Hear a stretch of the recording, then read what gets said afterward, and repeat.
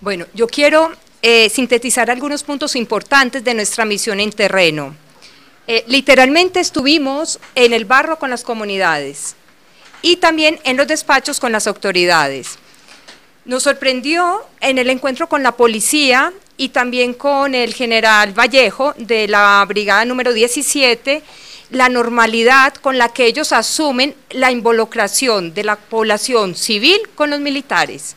Para ellos es normal que a la población civil se le pida información y se les involucre en sus acciones que ellos llaman acciones cívico-militares.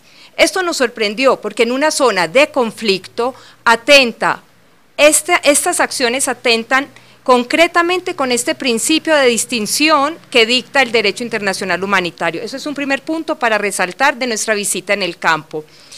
Ambas instituciones hablaban muy normalmente de estas acciones y de cómo están cambiando de estrategia. De hecho, el general Vallejo nos dijo que ya el requerimiento no era traer muertos de combate, sino hacer un trabajo preventivo con la población civil.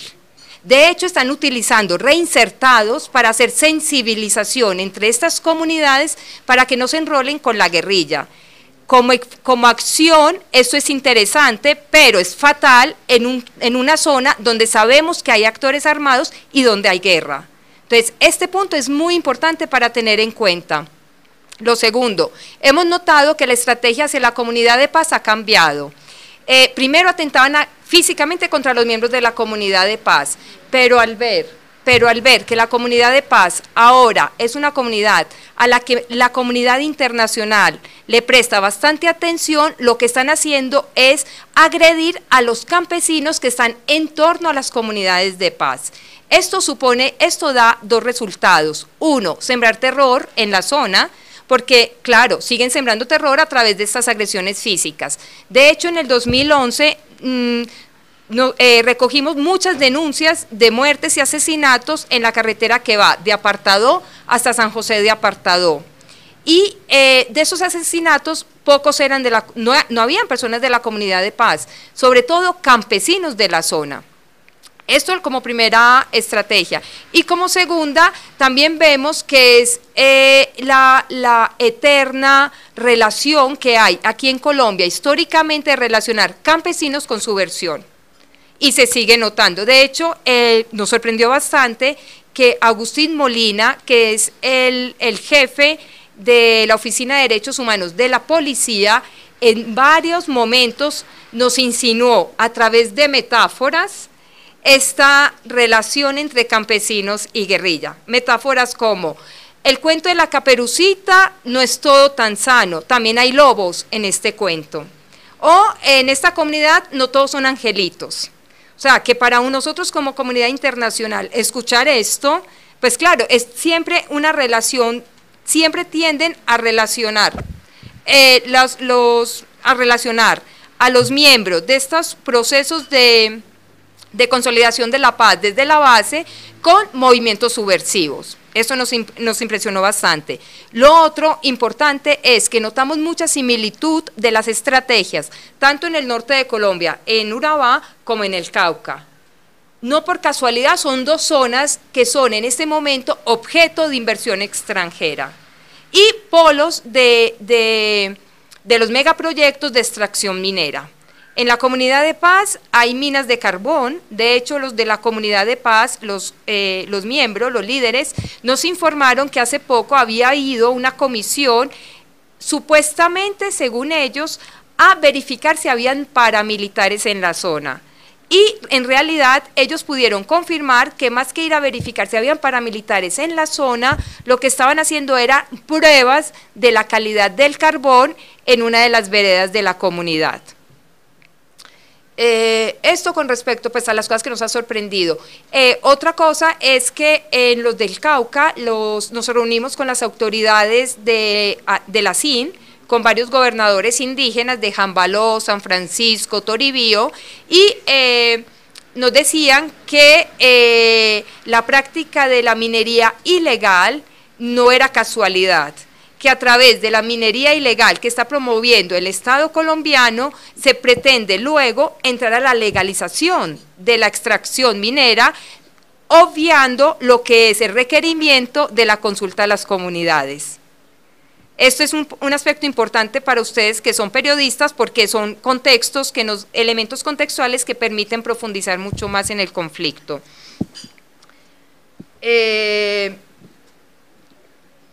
algo importante, ah bueno, lo otro que, nos pareció eh, importante es precisamente eso que decía del, del, general Vallejo, que ya la práctica no era traer muertos de combate, sino hacer sensibilización con la comunidad. De hecho, están utilizando un gestor de paz denominado Samir, que es esta persona, presenta bastantes, eh, tenemos bastantes denuncias de acciones de esta persona contra miembros de la comunidad. Entonces están utilizando esta persona, nos confirmó el general, que está alojada en el batallón y que lo están utilizando, entre comillas, para hacer sensibilización entre los campesinos que lo llevan a la escuela para que le hable a los niños de por qué no se tienen que eh, ingresar a la guerrilla. Esto en, en otros contextos, como práctica, vale, no, no se puede calificar, pero lo que nosotros hacemos mucho énfasis es que el contexto colombiano es un contexto de conflicto, y de conflicto armado y de guerra y que en la guerra se tiene que respetar a la población civil no combatiente. De hecho, después de los, de los, combates, de los combates que hay en apartado, en las veras de apartado, entre la guerrilla y paramilitares, entra el ejército reteniendo las cédulas de los campesinos. Durante dos días le retienen las cédulas y tienen que ir los brigadistas de paz, que son jóvenes que acompañan a estas comunidades como protección, para las comunidades y tienen que ir a las autoridades a reclamar la cédula de estos campesinos. O sea, son prácticas ilegales y prácticas que ponen en riesgo la vida de los campesinos. Eh, nos dijo el, general Vallejo que estaban haciendo detenciones preventivas.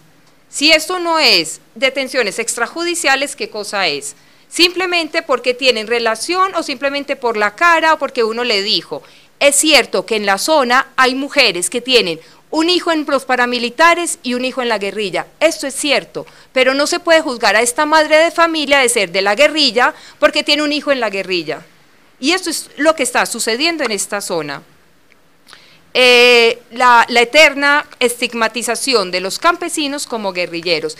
Y también nos, eh, nos comentaron los campesinos de que estos planes de inversión, el, llamado el plan acción social, ¿no? el programa de acción social, eh, estaba generando, claro, nosotros le preguntamos, bueno, pero ustedes no quieren que sus veredas tengan agua, educación, salud, porque no sé si ustedes han ido a las veredas, pero ir a esas veredas contrasta, contrasta como está el aeropuerto de apartado, con boutiques, con souvenirs, eh, en, en, la entrada aparece eh, Urabá, zona de desarrollo agroindustrial, con wifi en el aeropuerto de apartado. Cuando uno se desplaza a las veredas, caminando entre el barro, ah, no hay agua potable, no hay electricidad, y es casa, o sea, tremendo. Entonces nosotros le dijimos a los campesinos, bueno, ¿y ustedes no quieren que haya inversión social?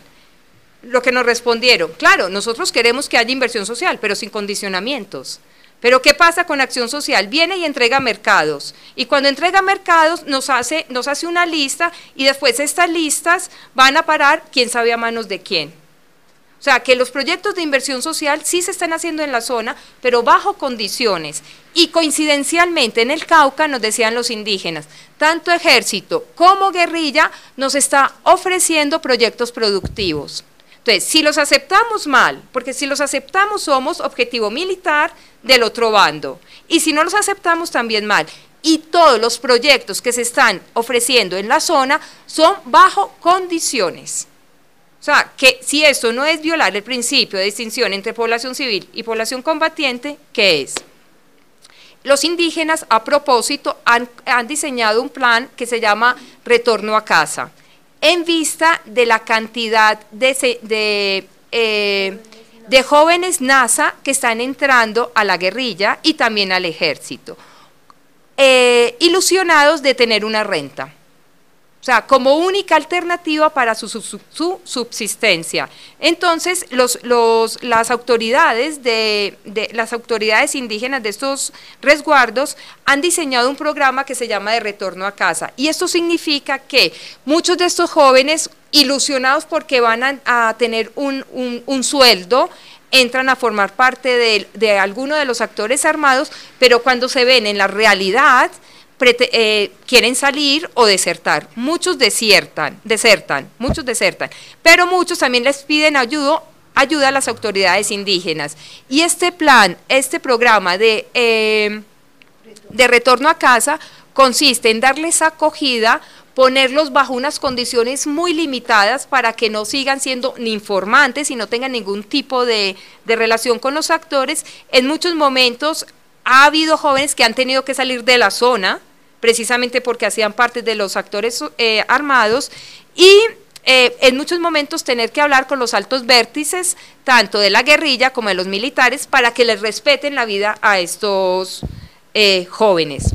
Ellos ven con bastante preocupación esto, y no solo de la guerrilla, ellos nos decían que los indígenas por constitución no están obligados a prestar el servicio militar no están obligados, los, los, indígenas en Colombia no están obligados a prestar el servicio militar, pero que de todas maneras eh, los militares se están ingeniando eh, los programas para atraer a estos jóvenes e insertarlos en las filas.